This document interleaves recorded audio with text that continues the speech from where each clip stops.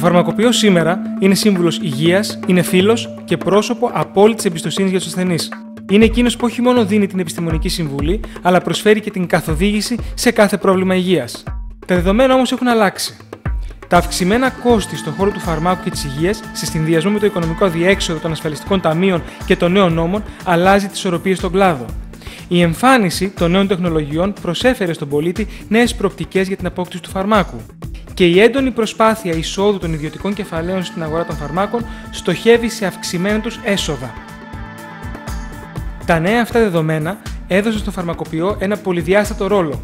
Ο φαρμακοποιός όμως έχει καταφέρει να αναπτύξει μια ιδιαίτερη στενή σχέση με τον ασθενή, χωρίς όμως η σχέση αυτή να επηρεάζει αρνητικά τις εμπορικές επιχειρηματικές δραστηριότητές του. Σήμερα θα ασχοληθούμε με τις βασικές προκλήσεις τις οποίες θα πρέπει να απαντήσει ο φαρμακοποιός ώστε να μπορεί να ανταποκριθεί και στις επιχειρηματικές απαιτήσεις του ρόλου του μέσω του στοχευμένου marketing. Βρισκόμαστε στο φαρμακείο του αδειούχου φαρμακοποιού Κωνσταντίνου Θεοχάρη και ΣΥΑ ΜΕ. Σήμερα έχουμε μαζί μας τον κύριο Θεοχάρη, ο οποίος έχει τελειώσει τις μεταπτυχιακές σπουδές του στη δίκηση επιχειρήσεων. Άρα η συζήτηση αναμένεται να είναι πολύ ενδιαφέρουσα πάνω στο θέμα του marketing και της επιχειρηματικότητας του φαρμακείου. Καλησπέρα σας. Καλησπέρα. Ευχαριστώ πολύ που είστε σήμερα. Εμείς ευχαριστούμε μας. που ήρθατε στο χώρο μας. Πώς συνδυάζετε την διοίκηση των επιχειρήσεων, το ότι είστε φαρμακοποιός, πώς αυτό σας έχει βοηθήσει στην διοίκηση του φαρμακείου σας; Ε, θεωρώ γενικότερα ότι σε οποιοδήποτε εγχείρημα στη ζωή μας χρειάζεται να έχουμε στόχους, στρατηγική, αξίες, όραμα και αρχές. Ε, έτσι επέλεξα μετά την ολοκλήρωση του, του κύκλου σπουδών στην φαρμακευτική να κάνω ένα μεταπτυχιακό στη διοίκηση των επιχειρήσεων γιατί πίστευα ότι με αυτόν τον τρόπο θα μπορέσω να ανταπεξέλθω σε μελλοντικές απαιτήσεις που θα υπήρχαν στο χώρο του φαρμακείου. Μια ιδιαίτερη επιχείρηση ε, και ήθελα να λάβω βασικές γνώσεις σε έννοιες όπως είναι τα οικονομικά, η στρατηγική, το marketing, η διοίκηση ανθρώπινου δυναμικού και με αυτόν τον τρόπο έτσι με βοηθάει να οραματίζομαι ένα φαρμακείο πρότυπο για εμάς και για τους ανθρώπους που μας εμπιστεύονται. Βέβαια, δεν είναι μόνο μια ιδιαίτερη επιχείρηση, γιατί και ο κλάδος είναι ιδιαίτερος. Τα πράγματα αλλάζουν στο φαρμακείο. Ε, η, το κράτος ε, δυσκολεύει τη ρευστότητα, το περιθώριο κέρδους στα φάρμακα μειώνεται, τα περισσότερα φαρμακεία στρέφονται στα δερμοκαλλιτικά και στα καλλιτικά, στην πώληση δηλαδή ε, αυτών των προϊόντων. Πώς μπορεί ένας ε, φαρμακοποιός σήμερα να εκμεταλλευτεί αυτή τη στροφή, Καταρχήν, τα πράγματα αλλάζουν γενικότερα και με ταχύτητα τους ρυθμούς, όχι μόνο στον τομέα των φαρμάκων. Και όσο αφορά τη ρευστότητα που αναφέρατε, η μόνη ρευστότητα που γνωρίζουμε εμείς στο τελευταίο διάστημα είναι αυτή του περιβάλλοντος στο οποίο ζούμε και δραστηριοποιούμαστε. Ε, η αλήθεια είναι ότι όπως αναφέρατε, στο τελευταίο διάστημα υπάρχει μια τάση για διεύρυνση του προϊόντικού μείγματος στα φαρμακεία ε, αναφέρατε χαρακτηριστικά έτσι, μια κύρια κατηγορία όπως είναι τα δερμοκαλλιτικά, αλλά επίσης υπάρχουν και άλλες κατηγορίες πολύ σημαντικές για το φαρμακείο, όπως είναι τα συμπληρώματα διατροφής, τα ορθοπαιδικά, η βρεφική ανάπτυξη, ε, κατηγορίες οι οποίες είναι αναγκαία η συμβουλή, η επιστημονική γνώση και η εξειδίκευση. Νομίζω ότι με αυτό το γνώμονα πρέπει να κινείται ένα φαρμακείο, δηλαδή πρέπει να γνωρίζει πολύ καλά, να εξειδικεύεται, ώστε να επιλέξει τις σωστές κατηγορίες και να τις υποστηρίξει με τον τρόπο που χρειάζεται, ώστε να μπορέσει να δώσει τις αποτελεσματικές λύσεις στο κοινό που τον εμπιστεύεται. Και με βάση όλα αυτά, ο ρόλος του φαρμακοποιού γίνεται πολυδιάστατο. Άρα, ποιος είναι ο ρόλος του φαρμακοποιού, Είναι μάνατζερ, είναι επιστήμονας, είναι υπάλληλος; Καταρχήν, σίγουρα και αδιαπραγμάτευτα είναι επιστήμονας. Από εκεί και πέρα όμως καλείται να παίξει και το ρόλο του μάνατζερ και του υπαλλήλου, του διευθυντή του marketing και πολλούς άλλους ρόλους. Εγώ θέλω λίγο να προβληματίσω έτσι τους συναδέλφους ε, αντιστρέφοντας το ερώτημα και λέγοντας ότι ποιος θα έπρεπε να είναι ο ρόλος του φαρμακοποιού. Η θέση η δική μου τα τελευταία χρόνια ε, που δραστηριοποιούμε στο χώρο είναι πως πρέπει να εξειδικευτούμε, πρέπει να οδεύσουμε σε συνεργασίες και νομίζω ότι ο κλάδος μας πρέπει να μας οδηγήσει προς αυτή την κατεύθυνση. Πώς έχει αλλάξει ο σημερινός καταναλωτής σε σχέση με τα τελευταία τρία χρόνια; Ο σημερινός ασθενής καταναλωτής. Ναι, η αλήθεια είναι ότι εμείς ε, έχουμε ανθρώπους που είναι ασθενείς και έχουμε και ανθρώπους οι οποίοι καταναλώνουν απλά προϊόντα του φαρμακείου. Ε, σίγουρα τα τελευταία χρόνια ο καταναλωτής ευρύτερα έχει αλλάξει, έχει γίνει πιο απαιτητικός. Αυτό είναι καλό. Ε, διαχειρίζεται με μεγαλύτερη υπευθυνότητα τα χρήματα τα οποία διαθέτει και αυτό εμάς ε, αποτελεί πρόκληση ώστε να μπορέσουμε να το απεξέλθουμε και να φανούμε αντάξει της ε, εμπιστοσύνης που μας δείχνει. Και στη διατήρηση της σχέσης, φυσικά, έτσι. Φυσικά. Εμείς θέλουμε να χτίσουμε τη σχέση μας, θέλουμε να πετύχουμε ώστε να, ο, ο κόσμος να μας βλέπει ως το πρώτο κανάλι ε, υγείας στο, στην Ελλάδα. Πολύ ωραία. Ας περάσουμε τώρα να κάνουμε την πρώτη ανακεφαλαίωση για σήμερα. Παίρνω αφορμή αυτό που μας είπε ο σημερινός μας καλεσμένος. Πόσο σημασία δίνει στο να χτίσει σωστές και γερές σχέσεις με τους πελάτες του. Σκεφτείτε πως στην επιχειρηματική ζωή αλλά και σε όλες τις υπόλοιπες διαστάσεις της ζωής η δύναμη της ευγνωμοσύνης είναι μεγάλη και απεριόριστη. Σκεφτείτε πως μόνο μία λέξη έχει πάρα πολύ μεγάλη δύναμη. Το ευχαριστώ που μας επισκεφτήκατε, που μας επιλέξατε, μπορεί να φέρει πίσω χαμένους πελάτες, αλλά μπορεί και να κάνει νέους πελάτες πιστούς. Το ευχαριστώ πρέπει να μεταφερθείτε σωστά στους πελάτες σας. Και υπάρχουν πολλοί τρόποι για να το κάνετε αυτό. Και όχι μόνο να τους το πείτε με λόγια ευχαριστώ που ήρθατε. Ο ένας τρόπος είναι να τους πείτε ευχαριστώ με μια ειδική προσφορά που αφορά μόνο τους πιστούς και καλούς πελάτες, μόνο εκείνους που πραγματικά θέλετε να ευχαριστήσετε. Ο δεύτερος τρόπος είναι να δουλέψετε για εκείνους μόνο ώρες και μέρες που είστε κλειστά. Βέβαια, πάντα σεβόμενοι τις αρχές και τις διατάξεις του εμπορικού συλλόγου στον οποίο ανήκετε. Αν καταλάβουν ότι προσπαθείτε να τους εξυπηρετήσετε ακόμα και όταν είστε εκτός ωραρίου, αυτό θα μετρήσει πάρα πολύ. Μπορείτε να στείλετε προσωποποιημένες επιστολές μετά την αγορά. Να γράψετε ένα χειρόγραφο σημείωμα και να πείτε ευχαριστώ που ήρθατε και να το στείλετε ταχυδρομικά. Ναι, έχει κόστος. Αλλά η εκλαμβανόμενη αξία θα είναι πάρα πολύ υψηλή. Μπορείτε να κάνετε ένα δώρο γενεθλίων. Να τους πάρετε τηλέφωνο και να τους προσφέρετε κάτι που είτε έχει σχέση με το αντικείμενό σας, είτε δεν έχει. Πάλι πρέπει να καταλάβουν ότι τους θυμάστε, ότι τους ευχαριστείτε για έναν ή για άλλο λόγο. Και κάντε συστάσεις. Όσοι έχουν επιχειρήσει από τους πελάτες σας, χρειάζονται πελάτες. Άρα βρείτε τους δικούς σας πελάτες, φίλους και γνωστούς και συστήστε τους σε εκείνους. Θα έχει μεγάλη αξία γιατί δεν θα υπάρχει ανταπόδοση. Και οτιδήποτε είναι χωρίς ε, ανταποδοτικό όφελος έχει πολύ μεγάλη αξία. Πείτε ευχαριστώ. Είναι σίγουρο πως θα εκτιμηθεί και η επαγγελματική και επιχειρηματική επιτυχία είναι δεδομένη.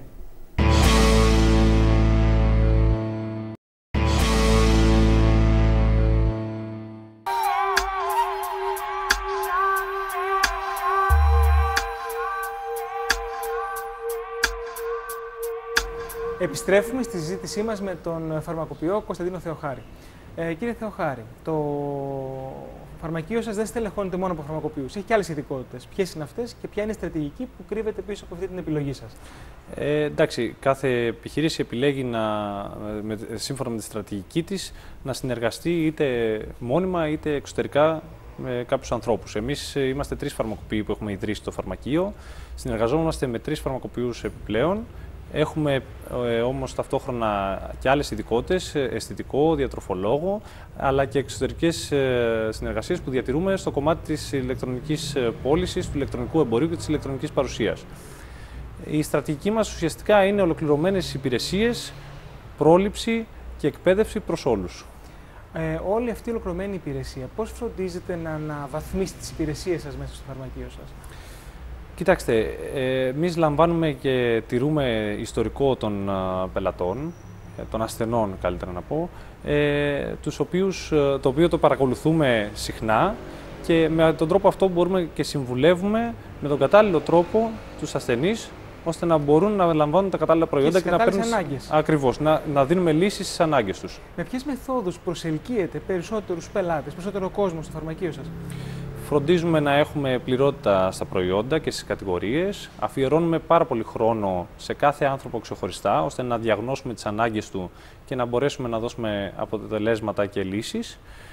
Δημιουργούμε ένα ευχάριστο περιβάλλον ε, και επενδύουμε κυρίως στη γνώση και την εκπαίδευση και τη δική μας αλλά και των ανθρώπων που μας εμπιστεύονται. Που είναι και το πιο σημαντικό, αυτή η γνώση. Πώς φροντίζετε να εδρεωθεί μέσα από τα χρόνια και να ε, ε, μπει μέσα στο μυαλό των πελατών σας; Εμείς φροντίζουμε και εμείς να ενημερωνόμαστε συνεχώς, ε, να βρισκόμαστε μπροστά από τις εξελίξεις, Ε, και παράλληλα ε, έχουμε μια καινοτομία, προσπαθούμε να εκπαιδεύσουμε και το κοινό μας, ακόμα και με σεμινάρια που διοργανώνουμε εντός του καταστήματος. Για τους ε, ασθενείς καταναλωτές πελάτες. Έχετε μία από τις ε, πιο ολοκληρωμένες ιστοσελίδες που έχω δει για φαρμακείο, το healthpositive.gr. Πώς και πόσο σας έχει βοηθήσει αυτό στην ε, ανάπτυξη του φυσικού σημείου; Ευχαριστώ πάρα πολύ για τα καλά σας λόγια. Ε, εμείς θέλαμε να διαφοροποιηθούμε από την παράνοια εντός εισαγωγικών, να το πω έτσι, που υπήρξε τα τελευταία χρόνια με τα ηλεκτρονικά καταστήματα των ε, φαρμακείων. Κάθε ένα φαρμακείο θέλει και το δικό του ηλεκτρονικό κατάστημα. Το οποίο ουσιαστικά περισσότερο ε, ε, στοχεύει στην, στο μειοδοτικό διαγωνισμό. Εμείς θέλαμε να δώσουμε μια ξεχωριστή αίσθηση ε, και θέλαμε να προσελκύσουμε τον κόσμο να έρθει στο φυσικό μας κατάστημα να μας γνωρίσει και να δεχτεί τη δική μας συμβουλή και τις ολοκληρωμένες υπηρεσίες για τις οποίες μιλήσαμε. Μία από τις υπηρεσίες, ειδικά για την online παρουσίαση στην ιστοσελίδα, είναι η online εφαρμογή Ρώτα το Φαρμακοποιό. Πείτε μου περισσότερα γι' αυτό. Ήταν μια ιδέα που είχαμε για να διαφοροποιηθούμε. Ε, αφορά μια εφαρμογή η οποία online μπορεί οποιοδήποτε να θέσει ένα ερώτημα σε θέματα υγείας και εμείς θα προσπαθήσουμε να δώσουμε την ε, πιο κατάλληλη και τεκμηριωμένη απάντηση ώστε να τον βοηθήσουμε στα θέματα που τον απασχολούν. Η ανταπόκριση του κόσμου; Υπήρξε πολύ ενεργή ε, και θέλουμε πάρα πολύ να το, ακόμα περισσότερο να το αναπτύξουμε. Ε, έχω δει ότι χρησιμοποιείτε πολύ συχνά ε, online διαγωνισμούς. Τι κρύβεται πίσω από αυτό, ποια στρατηγική θέλετε να πετύχετε; Είναι ένα εργαλείο το οποίο χρησιμοποιούν πάρα πολλές επιχειρήσεις για να γίνουν ε, ευρύτερα γνωστές στο κοινό. Ε, δεν μπορούμε να παραβλέψουμε το γεγονός ότι ο περισσότερος κόσμος ε, λειτουργεί και χειρίζεται τα μέσα κοινωνικής δικτύωσης και μέσα από αυτό εμείς προσπαθούμε να προσελκύσουμε και πάλι κόσμο ώστε να μας επισκεφθεί και να μπορέσουμε να χτίσουμε σχέσεις μαζί του. Πολύ ωραία. Ας περάσουμε τώρα να δούμε από τη μέσα πλευρά το βλάδο των φαρμακείων.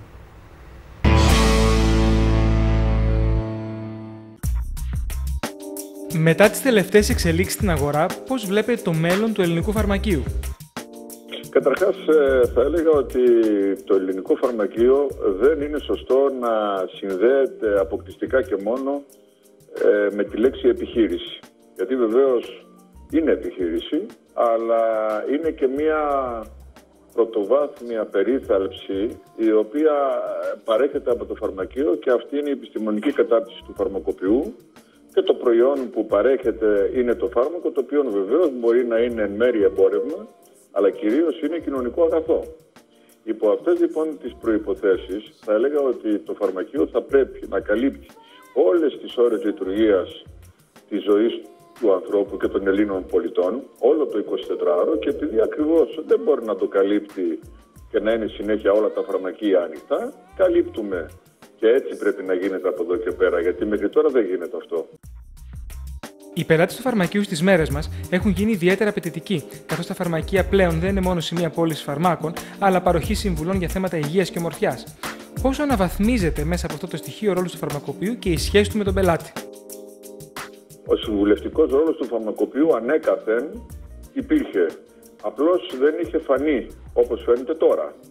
Φυσικά και ο συμβουλευτικός ρόλος του φαρμακοποιού έχει να κάνει και με την αισθητική, αλλά κυρίως έχει να κάνει με τα φάρμακα. Έχει να κάνει με την υγεία του κόσμου. Παραδείγματος χάρη, βλέπουμε ότι η συνταγογράφηση από τους γιατρούς και η εκτέλεση των συνταγών δεν είναι κάτι απλό. Είναι μια συνέργεια η οποία γίνεται με την ιατρική επιστήμη και με τη φαρμακευτική επιστήμη και αυτό είναι το κύριο μέλημα του φαρμακοποιού. Παραδείγματος χάρη, μην βλέπετε τα μεγάλα φαρμακεία που ανοίγουν σε κεντρικά και μόνο σημεία και φυσικά όχι σε σημεία που δεν έχει εμπορική δραστηριότητα. Παραδείγματος χάρη, η Ελλάδα δεν είναι Γερμανία, ούτε μπορεί να γίνει σαν τη Γερμανία, ούτε και η Γερμανία μπορεί να γίνει σαν την Ελλάδα, γιατί η Ελλάδα έχει πολλά νησάκια, έχει τι πρόσθετε περιοχές που δεν έχει η Γερμανία, έχει και μάλιστα περιοχές τις οποίες τα φαρμακεία δρούν ακόμη και σαν γιατρία. Συνεπώς, ο συμβουλευτικός ρόλος του φαρμακοποιού είναι κατά 10-20% θα έλεγα και εξετάται βέβαια και από την περιοχή στο θέμα της καλαισθησίας και όλα αυτά που λέτε, που πουλάνε πάρα πολλά πράγματα, αλλά κυρίως, ας μην ξεχνάμε, ότι ειδικά στην επαρχία και σε περιοχές πολύ δύσκολες, ο συμβουλευτικός ρόλος του φαρμακοποιού αφορά αποκλειστικά την υγεία του. Παραδείγματος χάρη, για φανταστείτε μερικά νησάκια χωρίς φαρμακείο, για φανταστείτε μερικές πρόσθετες περιοχές, ακριτικές περιοχές στον Εύρο, στην Κρήτη, χωρίς φαρμακείο, εκεί θα έχει πρόβλημα. Και μην ξεχνάτε ότι αυτή τη στιγμή τα φαρμακεία λειτουργούν με πολύ μεγάλες δυσκολίες. Δηλαδή δεν πληρώνονται όσο πρέπει να πληρώνονται. Ε, Κατευθυνούν οι πληρωμέ από τον ΕΟΠΗ. Δεν γνωρίζουμε αν, ας πούμε, τώρα τον Απρίλιο θα πληρωθούμε αυτό που μας χρωστάει τον Ιανουάριο ΕΟΠΗ. Ποιο είναι το όριο που πρέπει να θέτει ο φαρμακοποιός μεταξύ της επιχειρηματικότητας και της επιστήμης; Κοιτάξτε, δεν υπάρχει όριο. Θα έλεγα ότι έχω βρεθεί σε, σε περιοχές ε, της επαρχίας. Δεν ξέρω αν έχετε πάει εσείς να δείτε τι γίνεται στις περιοχές της επαρχίας και εκεί που οι ειδικότητε των γιατρών δεν υπάρχουν. Δηλαδή, συζητούσα χθες με τον κύριο Πατούλη ακριβώς αυτό το θέμα, ότι τα φάρμακα έλεγε ο γιατρός πρέπει να συνταγογραφούνται όλα από τον γιατρό. Δεν θα διαφωνήσω. Αλλά ειδικά στις περιοχές της επαρχίας δεν υπάρχουν γιατροί. Δεν υπάρχει δηλαδή εκεί καμιά καλά καλά ούτε παθολόγος. Δεν συζητάμε για τις άλλες ειδικότητες όπως είναι ας πούμε οφθαλμίατρος ή παιδίατρος ακόμα. Δεν υπάρχουν. Υπάρχουν περιοχές που δεν έχουν τους γιατρούς. Εκεί λοιπόν ο επιστημονικός ρόλος του φαρμακοποιού είναι 100%. Σε περιοχές όμως κεντρικές, όπως είναι το κέντρο των Αθηνών, όπως είναι, ξέρω εγώ, παραδείγματος χάρη το Σύνταγμα, εκεί μπορεί να είναι 50-50. Αυτό όμως δεν είναι ο καθαρά επιστημονικός ρόλος του φαρμακοποιού με το φαρμακείο του. Βεβαίως, αν έχει καλύψει τις ε, ανάγκες των πολιτών σε φάρμακο και σε επιστήμη, θα πάμε και στα υπόλοιπα. Αλλά μην ξεχνάτε ότι στην επαρχία, έχω πάει στην επαρχία, ξέρω τι σας λέω, υπάρχουν πολύ μεγάλες δυσκολίες στα φαρμακεία. Ασχολούνται πολύ με τον ασθενή, ασχολούνται πολύ με τον Έλληνα πολίτη σε σημείο μάλιστα παρεξήγησης. Πολύ ε, αντικατάσταση, χωρίς όμως αυτό να είναι σωστό, αλλά τι να κάνει, του ρόλου του γιατρού που και πάλι επαναλαμβάνω δεν είναι σωστό. Αλλά όταν βρεθούμε σε μια δύσκολη στιγμή και όταν δεν υπάρχουν οι, υπόλοιποι, οι, οι απαιτούμενες ε, ιατρικές γνώσεις, τι να κάνει ο φαρμακοποιός. Εδώ μην ξεχνάτε κάποιες ταινίες στο παρελθόν ε, με τις μέες που ξεγεννούσαν γυναίκες. Τι να κάνεις σε μια έκτακτη ανάγκη, δυστυχώς θα κάνεις τα πάντα. Αυτός είναι ο ρόλος του φαρμακοποιού. Και βέβαια εξαρτάται από το πού έχει το φαρμακείο. Αν είναι στην επαρχία, αν είναι σε δύσκολες περιοχές, αν είναι στις γειτονιές ή αν είναι στο κέντρο. Στο κέντρο βγάζουν πολύ περισσότερα, αλλά δεν είναι αυτή η επιστημονική κατάρτιση του φαρμακοποιού. Ας κάνουμε τώρα τη δεύτερη ανακεφαλαίωση για σήμερα. Ο καλεσμένος μας, λόγω της έντονης παρουσίας του στο ίντερνετ με την ιστοσελίδα του αλλά και με τα social media, χρησιμοποιεί πολύ συχνά τους online διαγωνισμούς. Οι online διαγωνισμοί μπορεί να σας βοηθήσουν πάρα πολύ σε αυτό που θέλετε να πετύχετε, αλλά ακούστε 8 tips που θα σας βοηθήσουν να κάνετε το σωστό διαγωνισμό. Το πρώτο είναι να αποφασίσετε εάν όντως θέλετε να κάνετε ένα διαγωνισμό. Τι θέλετε να πετύχετε; Πρέπει ο στόχος σας να είναι ξεκάθαρος και όχι επειδή κάνουν όλοι ένα διαγωνισμό να κάνετε και εσείς διαγωνισμό. Πρέπει να επιλέξετε τι είδους διαγωνισμό θέλετε. Θέλετε απλά ο κόσμος να μπει να κάνει μια κλήρωση; Θέλετε να υπάρξει διάδραση, να κάνουν κάτι για εσά. Τι ακριβώς θέλετε, σε ποιο βαθμό θέλετε να εμπλέξετε τους χρήστες που θα λάβουν μέρος στο διαγωνισμό σας; Διαβάστε πολύ προσεκτικά τους όρους και τους κανονισμούς, ειδικά στο Facebook. Υπάρχουν πολλά ψηλά γράμματα που μπορεί να βγάλουν εκτός τη δική σας προσπάθεια και τον διαγωνισμό σας. Επιλέξτε ένα σχετικό δώρο. Οι πελάτες έρχονται σελίδα στο Facebook για κάτι το οποίο πουλάτε και παρέχετε εσείς. Άρα, αυτό που θα κερδίσουν από τη συμμετοχή στο διαγωνισμό είναι κάτι που έχει σχέση με το αντικείμενό σας. Φροντίστε η διαδικασία να είναι απλή και διασκεδαστική. Ο κόσμος στο Facebook θέλει να χαλαρώνει, θέλει να ηρεμεί, δεν θέλει να κάνει πολύπλοκες διαδικασίες. Ενημερώστε τους πάντες για το διαγωνισμό. Και το υπάρχον πελατολογιό σας και το προσωπικό σας, όλοι πρέπει να γνωρίζουν ότι γίνεται διαγωνισμός. Είναι σημαντικό αυτό. Και βέβαια, κάντε Facebook ads και promoted posts. Δυστυχώς πια το Facebook δεν είναι δωρεάν. Πρέπει να επενδύσετε κάποια χρήματα έτσι ώστε ο διαγωνισμός σας να φτάσει σε περισσότερο κόσμο. Να το δει περισσότερος κόσμος και βέβαια να λάβει μέρος σε αυτό. Και το πιο σημαντικό, με ό,τι στοιχεία μαζέψετε, πρέπει να κάνετε follow-up. Είναι απαραίτητο να έρθετε πίσω και να κάνετε μια προσφορά, να στείλετε μια ενημέρωση, έτσι ώστε όσοι σας δώσαν το email και τα στοιχεία τους, κάτι να ακούσουν ξανά από εσά. Η επανάληψη είναι πάρα πολύ σημαντική στο marketing. Καλή επιτυχία. Επιστρέφουμε στη συζήτησή μας με τον φαρμακοποιό Κωνσταντίνο Θεοχάρη. Κύριε Θεοχάρη, ποια είναι τα ανταγωνιστικά πλεονεκτήματα του φαρμακείου σας, του φυσικού σημείου; Του φυσικού σημείου. Ε, προσπαθούμε να έχουμε ένα ευχάριστο και αξιόπιστο περιβάλλον, αλλά κυρίως προσπαθούμε να είμαστε εξειδικευμένοι, να έχουμε γνώσεις και να προσπαθούμε να δώσουμε τις αποτελεσματικές λύσεις στον κάθε άνθρωπο ξεχωριστά που έρχεται να μας επισκεφθεί. Με την ευρεία διάθεση εμπορικών προϊόντων ε, συμβάλλεται στην αναγνωρισιμότητα των brands των προϊόντων. Αυτό πώς το κρίνετε, είναι θετικό για εσάς ή αρνητικό; Πάντα τα πράγματα θέλω να τα βλέπω θετικά. Ε, σίγουρα ε, εμείς πρέπει να επιλέγουμε και να αναδεικνύουμε τα σωστά προϊόντα, οπότε είναι τιμή μας να διακινούμε προϊόντα τα οποία έχουν κλινικές μελέτες και αποτελούν απόσταγμα επιστημονικής ε, μελέτης. Ε, πώς βλέπετε, ε, για τα πράγματα εξελίσσονται διαρκώς, ε, το μέλλον και τις τάσεις ε, στην αγορά του φαρμακείου τα επόμενα χρόνια. Κοιτάξτε, θα ήταν πολύ παράτολμο να κάνουμε μια πρόβλεψη αυτή τη στιγμή, καθώς είναι όλα τα πράγματα ρευστά. Ε, αυτό που εμείς οφείλουμε να κάνουμε είναι να δημιουργούμε και να επεξεργαζόμαστε σενάρια ώστε να μπορέσουμε να το επεξέλθουμε σε οποιαδήποτε συνθήκη. Οπότε να έχετε την ε, άμεση ανταπόκριση οτιδήποτε συμβεί. Ακριβώς. Αν σας έλεγα να δώσετε μια συμβουλή σε κάποιον νέο φαρμακοποιό επιχειρηματία που ξεκινάει τώρα την ε, επαγγελματική του πορεία, ποια θα συμβουλή θα ήταν αυτή; Καταρχήν, θα, αν μπορούσα να το συμβουλεύσω, θα του έλεγα να σκεφτεί καλά τι θέλει να κάνει, να οραματιστεί πού θέλει να πάει, να μελετήσει πολύ καλά το περιβάλλον στο οποίο θα δραστηριοποιηθεί, να βρει τη διαφοροποίηση και τις, ε, τα συγκριτικά πλεονεκτήματα που θα τον κάνουν ε, αρεστό και διαφορετικό ε, και να χαρεί το ταξίδι του. Είπατε τη λέξη κλειδί. Ε, Αφενός βέβαια να χαρεί το ταξίδι που είναι πολύ ωραίο αυτό που είπατε, αλλά είπατε να βρει αυτό που τον διαφοροποιεί. Τον ανταγωνισμό πρέπει να τον φοβάται. Ο ανταγωνισμός είναι πάλι μια θετική έννοια, ε, μας κάνει καλύτερους. Οπότε αυτό που πρέπει να ξέρουμε είναι πώς θα εξελιχθούμε μέσα από τον ανταγωνισμό. Ποιες ενέργειες πρέπει να κάνετε σήμερα για να εξασφαλίσετε τη βιωσιμότητα της επιχείρησής σας στο μέλλον; Και πάλι είναι πολύ δύσκολο να κάνουμε προβλέψεις, αλλά όπως σας είπα επεξεργαζόμαστε διάφορα σενάρια. Αυτό που μπορούμε να κάνουμε εμείς είναι να βασιστούμε στις αρχές μας, οι οποίες είναι οι συνεργασίες, η εξειδίκευση και η αποτελεσματικότητα. Θέλω να σα ευχαριστώ πολύ για σήμερα. Και εγώ σας ευχαριστώ. Σήμερα έχουμε την ευκαιρία να μιλήσουμε με έναν φαρμακοποιό, ο οποίος έχει σπουδές στη διοίκηση, έχει και σπουδές μάλλον στη διοίκηση επιχειρήσεων. Άρα μπορέσαμε και είδαμε, και είδατε κι εσείς, πόσο σημαντική είναι η επιχειρηματικότητα για το σύγχρονο φαρμακείο. Έχουμε φάρμακα, έχουμε παραφάρμακα, έχουμε καλλιτικά και έχουμε πολλά προϊόντα. Άρα το φαρμακείο αλλάζει και το marketing έχει ρόλο μέσα στο σύγχρονο φαρμακείο. Με αυτό σας δίνω ραντεβού την επόμενη εβδομάδα με έναν διαφορετικό επιχειρηματικό κλάδο. Είστε πανηδίν.